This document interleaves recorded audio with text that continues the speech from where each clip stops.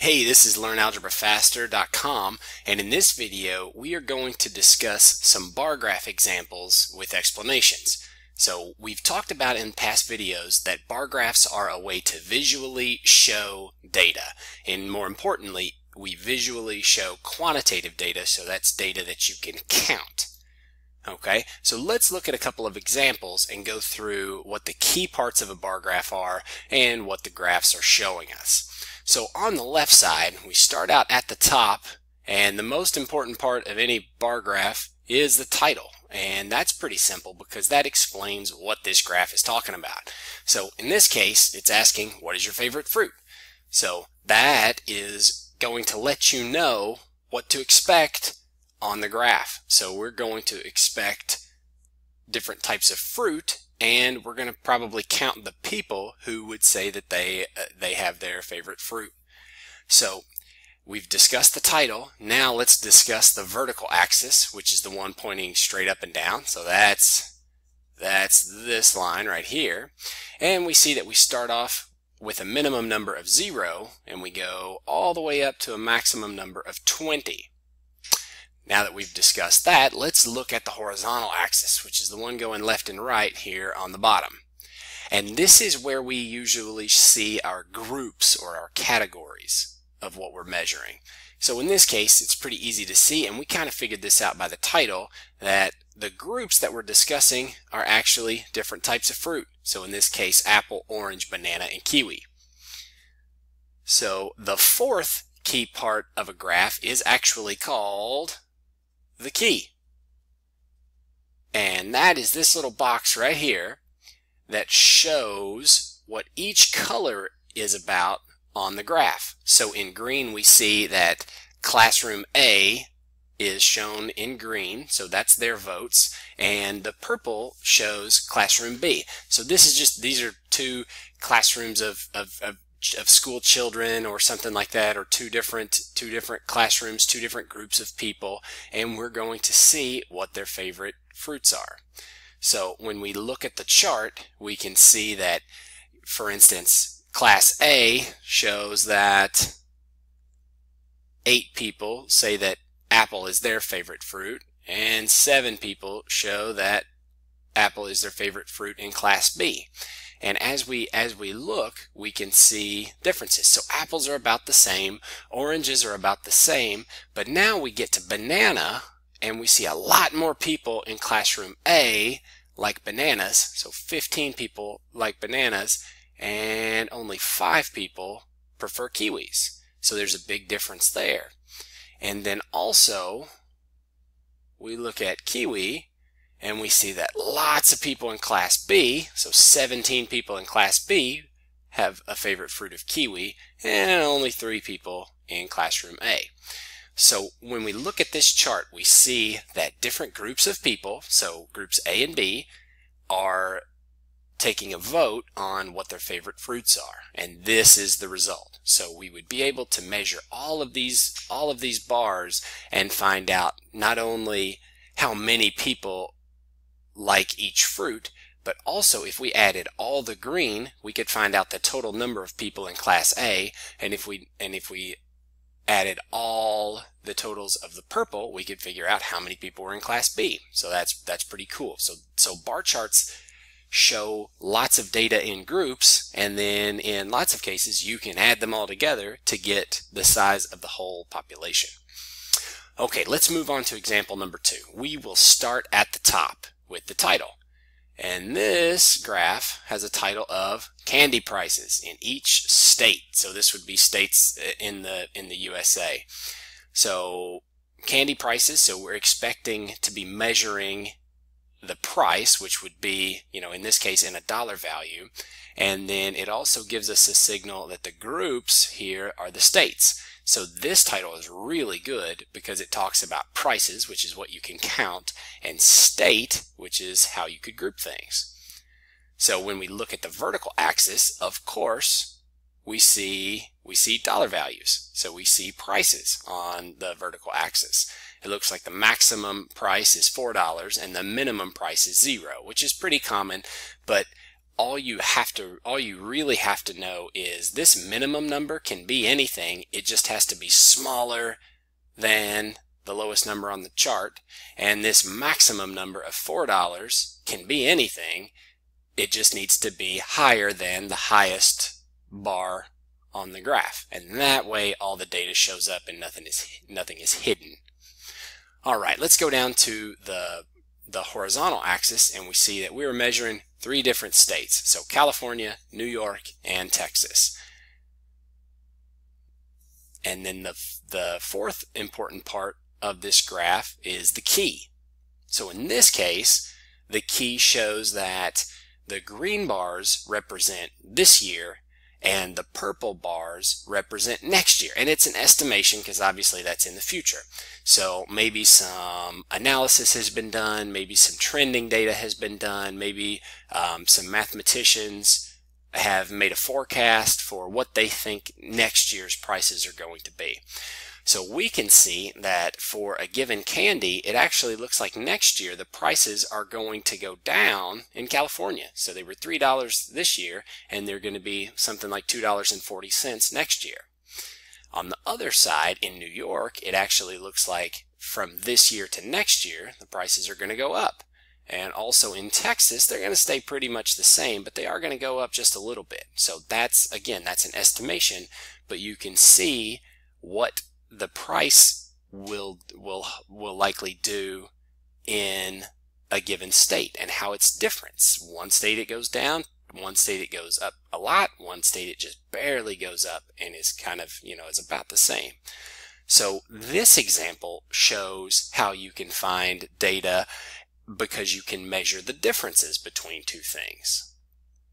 All right, let's go to our final example in this video and let's look at a big chart with lots of data on it. So despite this being a pretty complicated chart, we're going to still go through the same process.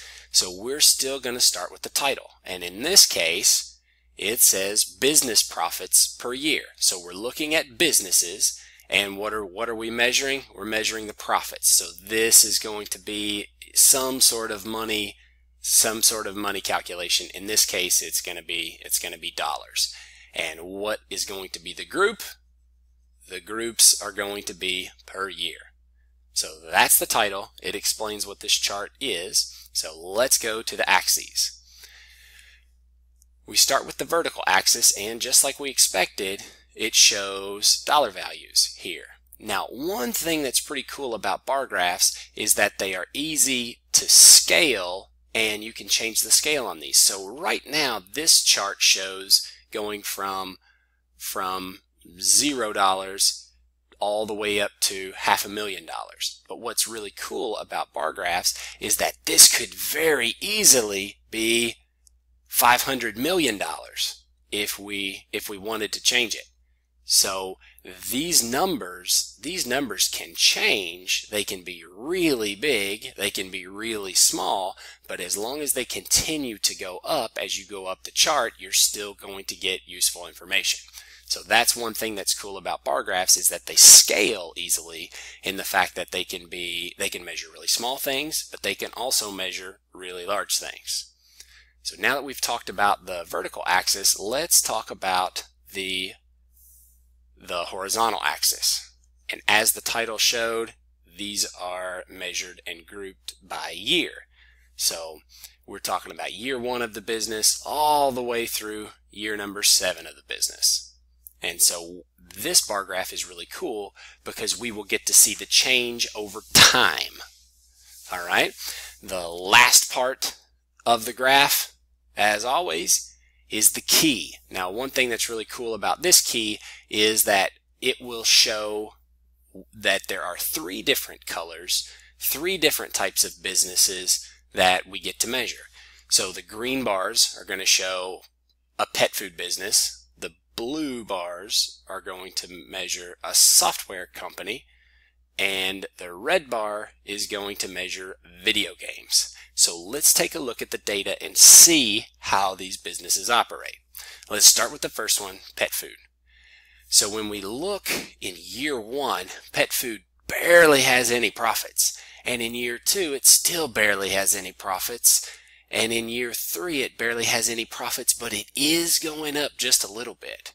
Now, in year four, you see quite a bit of difference.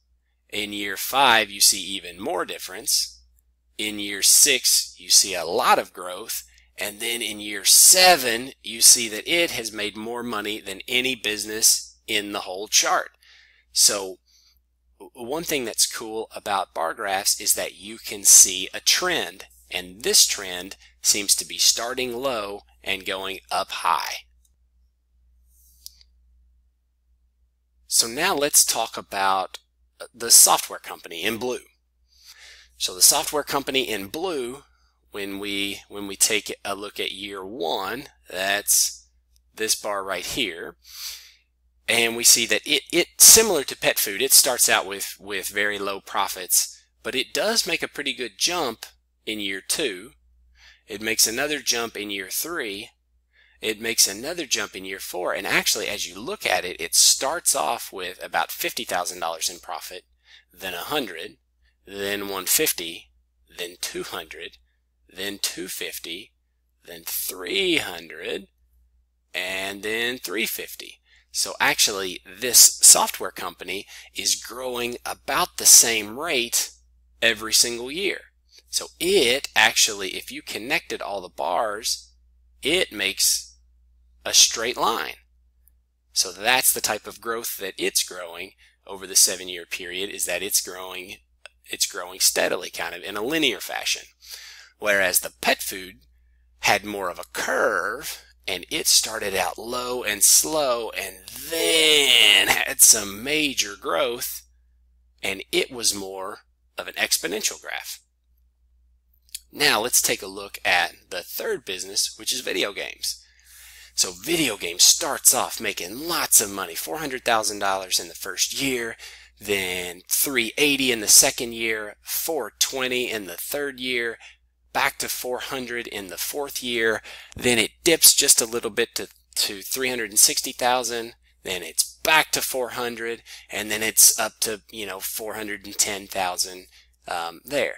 So as we look from year one to year seven, it starts and ends in about the same in about the same place.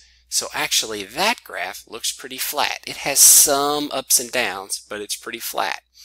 So bar graphs are super useful. We, we mentioned that they can scale. So the numbers that you measure can start out, it could be it could be $5, it could be $500, it could be $500,000, it could be $500 million.